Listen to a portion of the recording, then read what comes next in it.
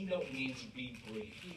and I'm going to do my best to live up to that because the, the follow-up definition is if refreshments follow, be even more brief. so let me get to the heart of the matter because I believe this new courthouse facility will enhance our system of justice here in this community in any number of ways, and I want to speak about two of them. The first is a very practical point.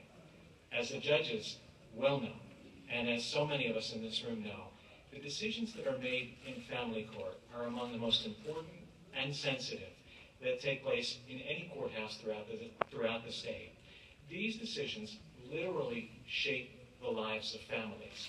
They affect the relationship of spouses, of parent and child. They have a lasting effect on families in ways that we can't even predict at the time that they're made. They also change the path of misguided youth. They respond to allegations of domestic violence. They speak to families in crisis, all with enormous consequences, each and every one.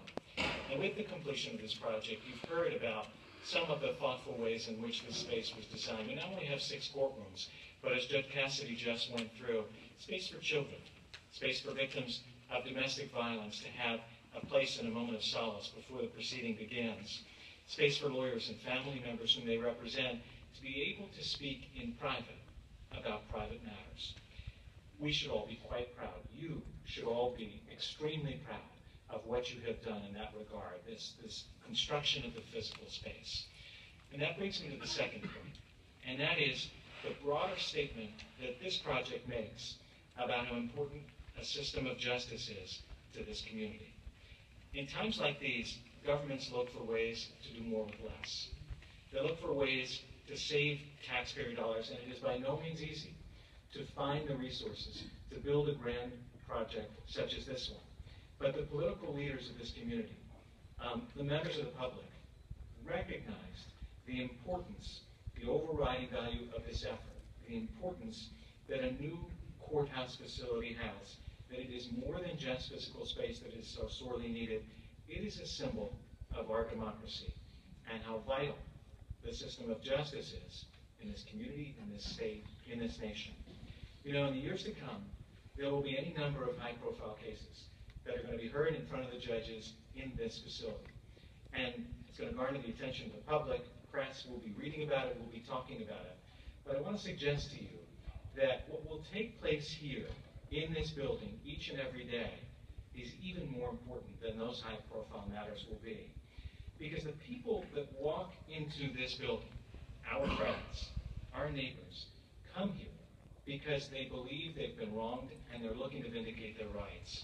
And what they're hoping for is a fair shake, is a fair hearing as we look at matters that will affect them in profound ways. And they're going to appear in front of judges. You know, I used to try cases. And as I look at this august body of jurors that sits in the juror box, I was thinking a moment ago, would I want them as, as a jury? Because, you know, the lawyers here realize that no matter how many questions they're permitted to have answered, you never know enough about the jury and you try to, to draw conclusions out of, you know, the way a person looks at you and the, and the sober feeling that you're getting from this jury box here today. I will tell you, I would like to try a case in front of this jury. because they are people who believe in the rule of law.